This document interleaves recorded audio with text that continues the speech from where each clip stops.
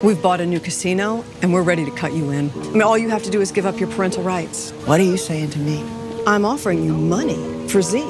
Hey, uh, I really don't think this is the right place to be talking about this. Well, no, well, he should have a nice young family. I mean, I mean, don't you agree? Why? I mean, not an aging widow. I mean, I, think she's really, I think it's what's you. best for him. Jacob would take the deal. I don't Money? ever want to hear you Yes. utter his name again. I think we should all just calm down. But I think calm we can down. all agree that the child deserves better than a than a farm stand and a redneck for a mama.